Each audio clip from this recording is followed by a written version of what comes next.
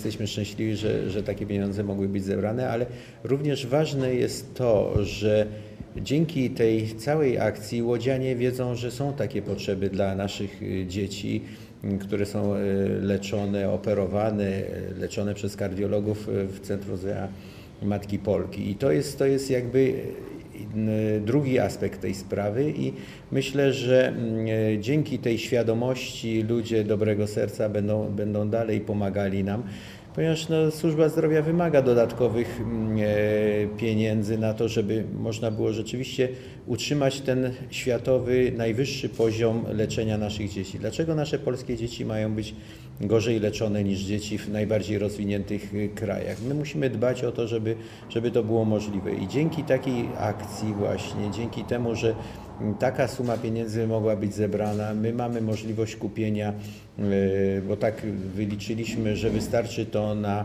e, pompę, do, e, dwie pompy do podawania płynów infuzyjnych, pompę strzykawkową i pompę przepływową oraz na specjalistyczny inhalator, który jest potrzebny po operacjach u dzieci, przed operacjami u dzieci. I te, to będzie mogło być zakupione za pieniądze, które zostały zebrane podczas tej wspaniałej akcji.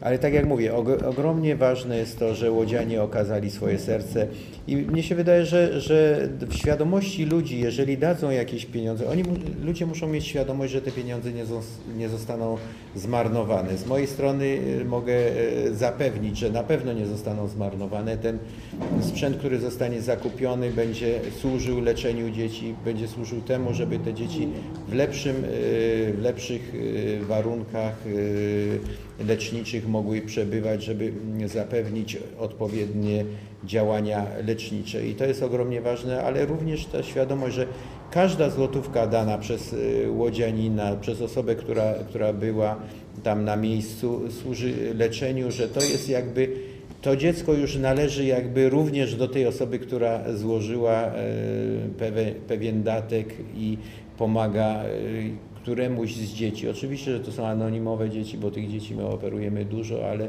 ale tym bardziej jest to potrzebne, żebyśmy mieli odpowiednie wyposażenie, żeby we właściwy sposób można te dzieci były, było leczyć, żebyśmy nie odbiegali poziomem leczenia od najbardziej rozwiniętych y, krajów świata. My staramy się, robimy wszystko i jesteśmy na tym poziomie. Natomiast moje obawy wciąż budzi to, że y, w pewnym momencie zostaniemy jakby troszkę w tyle, ale dzięki takim właśnie akcjom charytatywnym jesteśmy w stanie y, zapewnić odpowiednie warunki lecznicze dla naszych polskich dzieci. Ze wzruszeniem całą tą uroczystość przeżyłam e, i czułam się wręcz e, e, no, wspaniale i, i, i, muszę powiedzieć, że, też serdecznie dziękuję Państwu, bo Państwo przez media trafiliście do wielu ludzi.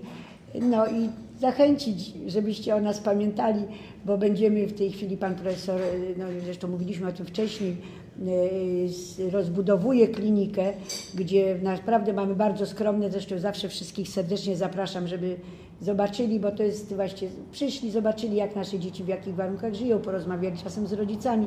Jest to wtedy takie jeszcze dodatkowe, dodatkowy element, kiedy człowiek się przekonuje, że no, naszą wiarygodność, że tak powiem, potwierdzamy ale bardzo serdecznie prosimy i będziemy rozbudowywać, dlatego że w tej chwili dysponuje klinika zaledwie, zaledwie sześcioma łóżkami pooperacyjnymi, a docelowo ma ich być 15, również dwie sale operacyjne. Pozwoli to i na zwiększenie ilości operacji, ale również na lepszy komfort pacjentów, którzy leżą na to, żeby matki mogły być więcej, prawda, miały również jakieś warunki y, przebywania z dziećmi. Także serdecznie Jalko chylę czoło, dziękuję, ale przede wszystkim dziękuję y, tutaj panu dyrektorowi Caritasu za zainteresowanie i y, panu proboszczowi parafii. Naprawdę jestem głęboko wzruszona i serdecznie dziękuję. Dla mnie ta uroczystość, abstrahując od tego, że dla nas była jakby można powiedzieć najważniejsza pod względem zbiórki, która, jest, która ma służyć naszym dzieciom, mm, ten charakter w ogóle e, i cała oprawa, która była, która jest, była związana z mm, chrztem dzwonu, prawda, e, Ogromne wrażenie na, na mnie to wywołało. Z, jak zorientowałem się, ile to pracy wymagało, ile włożonej, żeby to wszystko zorganizować, to, to mówię, to jest niesamowite, że się to wszystko udało w taki wspaniały sposób przeprowadzić. Był, była naprawdę atmosfera rewelacyjna e, i wszystkie elementy całej oprawy były doskonale, perfekcyjnie przygotowane. Dla mnie e, jeszcze e, znaczenie pewne ma to, że, że było cała ta uroczystość miała również charakter ekumeniczny, prawda, gdzie różne wyznania mm, y, były jakby podkreślone, że biorą w tym wszystkim udział. No Łódź jest y, y, miastem specyficznym bardzo i chociaż ostatnio mi koledzy powiedzieli, że Wrocław również, ja tak, tak nawiązywałem do tego. Ja jestem, moja rodzina jest katolicka dopiero od paru pokoleń. Mój pradziadek został katolikiem, natomiast wcześniej był y, z grupy luterańsko-kalwińskiej. Tak dokładnie, prawdę mówiąc, nie wiem, ale, Hugonoci. ale, ale, ale no, hu- hugonoci, bo to, to, to nasza rodzina się stamtąd wywodziła, raczej, raczej kalwinizm. No, ale ale tak, tak czy inaczej, jesteśmy katolikami od, od wielu już można powiedzieć pokoleń, ale zawsze e, uważam, że trzeba szanować inne religie również, co, jest, to jest, co zostało tutaj podkreślone, jak, jak e, czasami się podkreśla, ale nie zawsze mm, dostatecznie Bóg jest jeden, prawda? Bóg jest dla wszystkich ludzi.